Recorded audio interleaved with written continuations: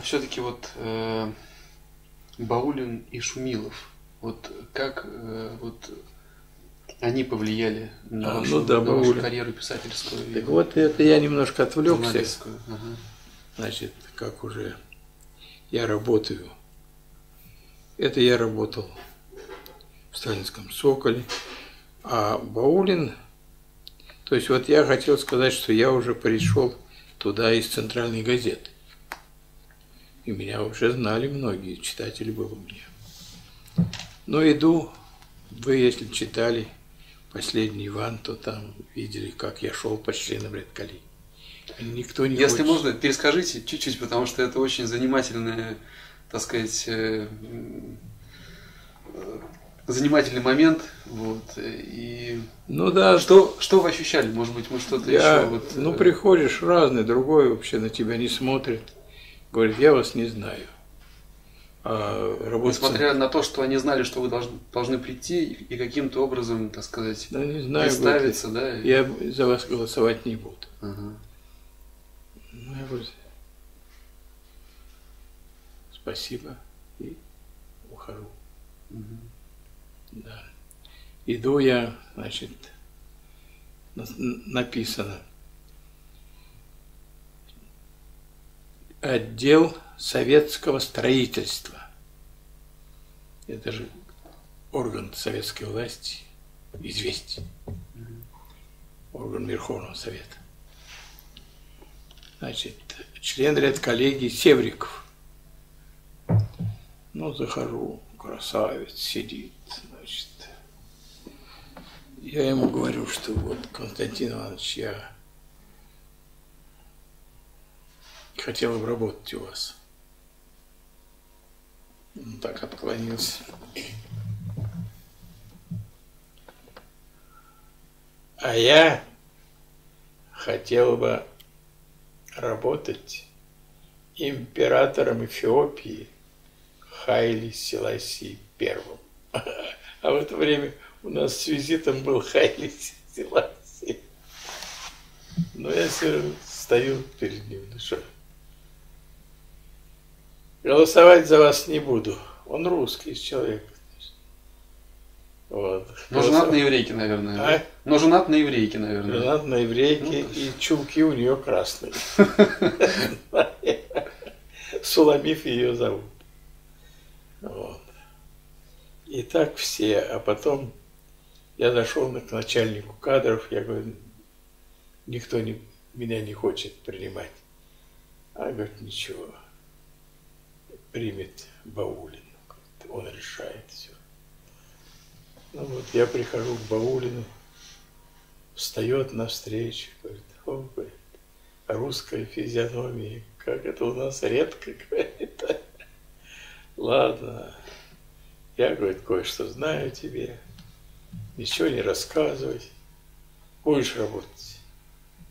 Завтра выходи на работу. Вот. Так я стал Александр Григорьевич Баулин.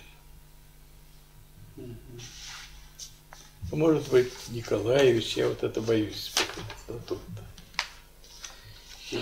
Пусть меня извинит читатель, давно ведь это было, полстолетия. Вот. Но я обязан этим двум человекам, э, Николаю Дмитриевичу Шумилову и Баулину.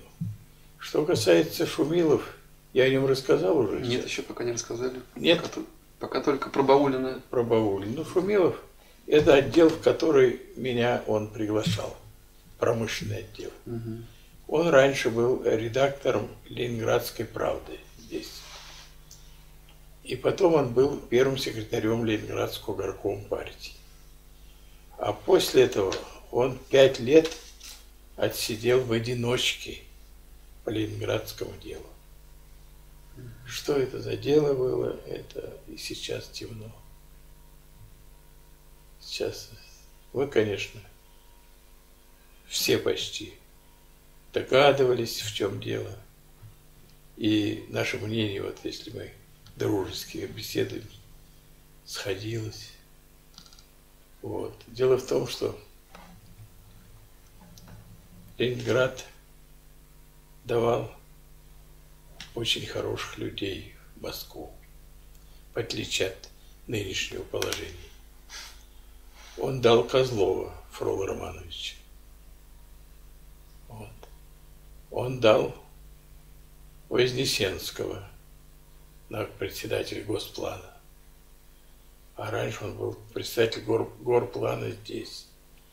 А Вознесенский написал книгу толстую «Политэкономия социализма», а у Маркса «Политэкономия капитализма».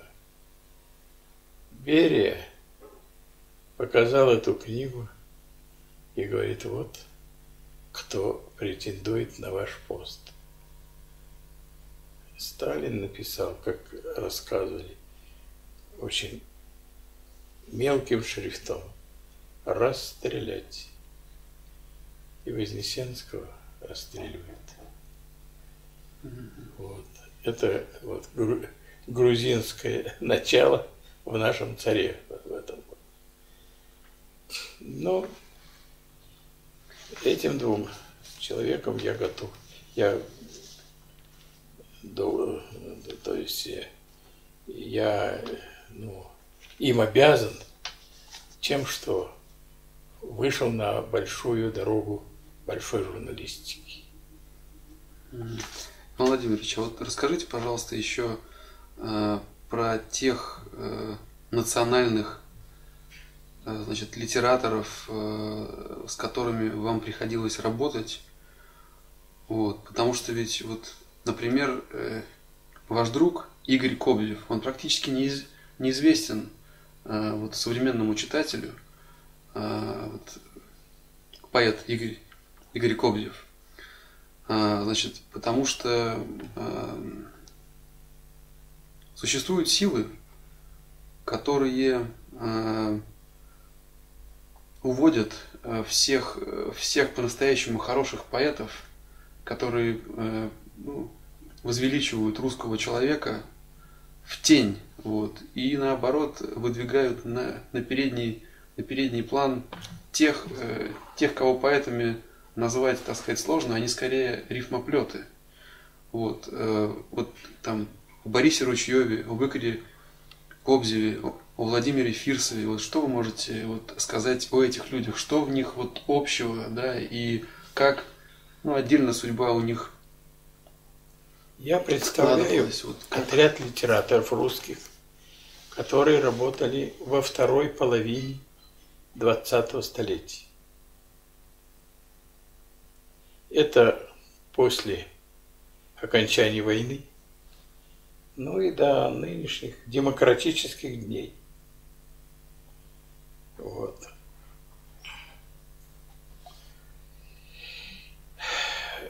история, то есть судьба так распорядилась, что я не был где-то в сторонке там и прочее, а что я был все время на юру. То есть, э, ну вот работал с Василием Сталиным. Вот. Потом, до этого, нет, как как это тут по времени-то. В 53-м я с Василием. В 50, 51-м. А в 53-м умер его отец. Угу. И его, значит, э, посадили в тюрьму. Василий Сталин. Конечно, ни за что. Мне сказали – на ухо, кто там понимал. Ты входил в окружение Сталина, Василия, а его вот замели, заметут и всех вас. Так что ты готовься. Я иду домой. Никому я не нужен, ни в газете. Но газету, кстати, тоже расформировали, сталинский «Сокол». За сталинский ее значит, уничтожили газету. И Васи нет, сталинского сокола нет. Я иду домой. Уже меня не везут на большой машине. Вот. Прихожу домой. Жена на работе. Она работает кассиром в аптеке. Приходит ко мне из сталинского сокола еврей Фридлянский и говорит, ты хочешь жить? Я говорю, ну кто в наше время, в наше с тобой время, которому 30 лет не было, не хочет жить. Ну, говорит, вот, я могу тебе устроить в Париж. Там тебя примет человек, и ты, говорит, будешь пользоваться тем, что ты был помощником Сталина. И ты будешь, говорит, выступать на любых там общественных сходках, будешь получать огромные деньги. Ты будешь преподавать в университетах, тебя будут как медведя показывать. Вот. Я говорю, а если я не приму и не поеду? Он говорит, что если ты не поедешь, то вот завтра тебе скажут, сиди дома и жди вызова. Ну вот, действительно, я говорю, нет, я не поеду никуда. На следующий день мне звонят, ты дома, дома. Звонят из генштаба. Никуда не выходи. Мы тебя позовем. Я что, ни ночью, ни днем, да, ни ночью, ни днем никуда не выходи. Иначе мы расценим это нехорошо для тебя. Я говорю. И вот я нахожусь в положении, когда взвели курок и вот-вот выстрелят. Прямо скажу, положение не важно, это страшное положение. Но я находился под этим положением что-то дней десять. Был следователь Николай, Николай Федорович Чистяков. Следователь по чрезвычайно важным делам. Он упек Сталина и его ближайших, тоже помощников. Вот я ждал. Вызывают меня и говорят, в Румынию поедешь. Там наша газета «Советская армия», будешь специальным корреспондентом. Ну, я поехал в Румынию. Это уже началась другая моя, так сказать, история моей жизни.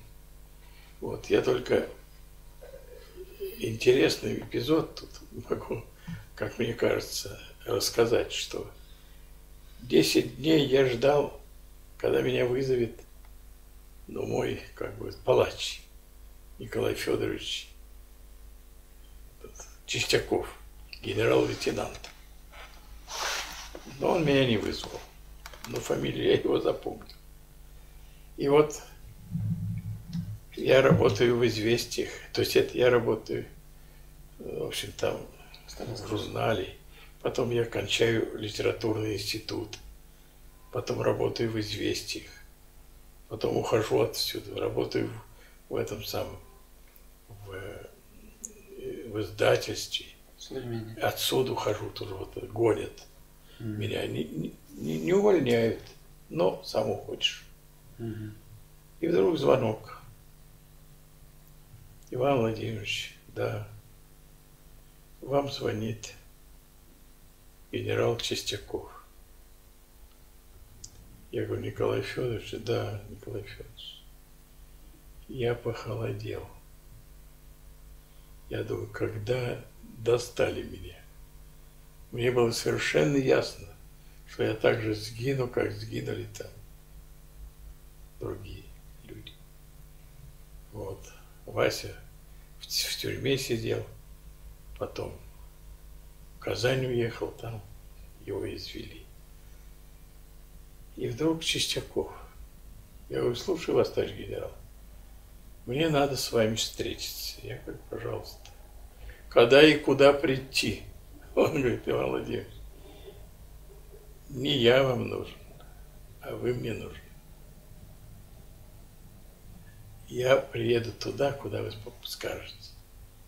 Я сказал квартиру. Приезжает мужчина, красавец, интересный, умный, хороший. Говорит, вот мне поручили написать книгу о строительстве Каракумского канала. А нет, нет, забыл, это другому. Я, я несколько книг написал вот не за своей фамилией. Да? Мне, мне напис... сказали, что за граница, заграничный пресс, говорит, что органам э, надзора в СССР зажимают рот, они не пишут книг. А они там пишут. Ну вот решили у нас тоже написать, но поручили мне. Ну я какой писатель? Мне предложили ваше имя. Помочь мне. Пожалуйста, я говорю, да. Пожалуйста, буду помогать. Обрадовался страшно. Вот. Теперь, значит, э, конечно, я им не говорю, что я вас ждал там, прочее. Вот ту историю как бы забыл. Не вспоминаю я Васе. Ну, что я могу сказать? Он выполнял чью-то роль, я же понимаю. Да. Ну вот, значит, кончились, написали книгу, и как с Василием ее задержал Андропов. Вот, задержал Андропов и держит и не дает. Я тогда звоню Андропову. То есть нет, я звоню его заместителю Цвигуну. Вот тому, кому Шевцов звонил. Алексей Кузьмич Цвигун, генерал-полковник заместитель начальника КГБ. Начальником КГБ был Андропов. Я ему говорю, Алексей Кузьмич, вот если бы вы пришли получать зарплату, а вам бы ее не выдали. Вам бы это понравилось? Он говорит, нет, это мне не понравилось. Вот, нам с Чистяковым тоже не понравилось. Мы работали, а деньги не даете, не дают. Он говорит, ладно, дадут вам деньги. А за работу спасибо. Я не знаю, как она решится, но это уже вопрос времени. А деньги получите. Да. Я говорю, спасибо, до свидания. Через два часа звонит генерал, начальник в этом самом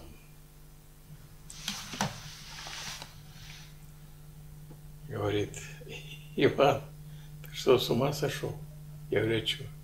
Ты куда телегу покатил на меня? И самому Цвигунову. Разве так можно с друзьями поступать? Я говорю, ну я просто сказал, что гонорар не даете. Да какого черта? Откуда я знал, что тебе не дают гонорар? Приходи, я вот сейчас при мне выпишем и отдадим все. Ну, я приезжаю, значит, все это близко. Он вызывает начальника бухгалтерии, та дает деньги, я смотрю, значит, но как издатель я, я понимаю, что гонорар этот такого не бывает вот, за книжку сравнительно небольшую мне что-то такое, значит, выплачивает тысяч двенадцать. А 12 это после реформы 61 года.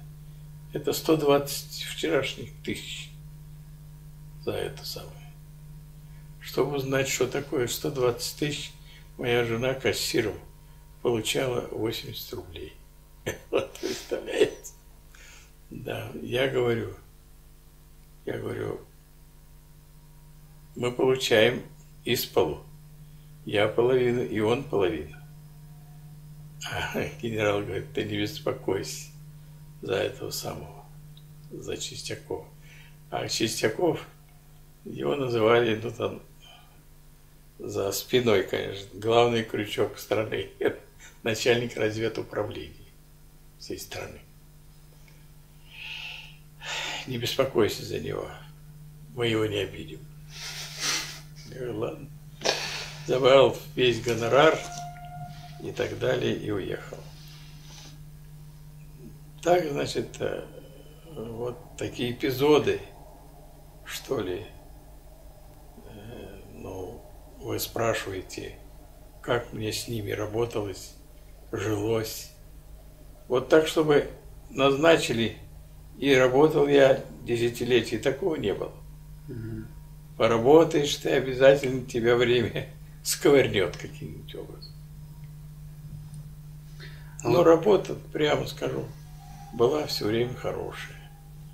В, в известиях я попал от одного великого князя царского, значит, человека к другому, к Аджубею, который был зятем Хрущева. Вот. Очень быстро становлюсь самым ну, активным участником подготовки хрущевских рассказов, этих докладов. Каким образом? Хрущев делает поездку по Урал, Казахстан, такая на целый месяц у него поездка была. И вот в Свердловске, значит, ночью мы сидим, ждем, когда он выйдет от себя и скажет, что подготовленный нами доклад он одобрил. Ну, вышел. Этот вот подготовленный нами доклад бросил нам всем в лицо. Говорит, возьмите, сами читайте такую чушь, чтобы я это читал. А в другой руке держит три странички. Вот, говорит, три странички, которые я могу прочесть. А это все, говорит, ерунда. Я не буду читать. И ушел. Три страницы взяли, а их я написал. И Джубей понял, что самый последний мы должны с ним, он со мной должен да, отрабатывать. И так я на, на все 10 лет. То есть именно ваш талант вот, везде вас вел... Да, э, талант, вот это моя, мой стиль, речь. Вот, причем я обязательно я страницы не делаю, чтобы не было там какого-нибудь вот эпизода, высказывания каких-то древних. Понимаете, я обязательно. Он потом Аджубей говорит, вот, надо как писать весь доклад. Че вы, че, что вы? Кто-то умеет у вас, а кто, кто это писал? Ты, что ли? Ну, я не знаю, что он ответил ему. По крайней мере, со мной Хрущев не здоровался. Так и после этого не здоровался. А, он, он ни с кем не здоровался. На Аджубей вас, так сказать, в связи с этим держал рядышком и, и везде Абсолютно. все, так сказать, через вас пропускал. Да? Квартиру, понимаете, ага. я получил. Вот, я получил знак почета. Вот. Ну, высокую должность, самую высокую. Обозреватель известий. Персональный автомобиль. Вот работал. Так что вот как скажешь тут.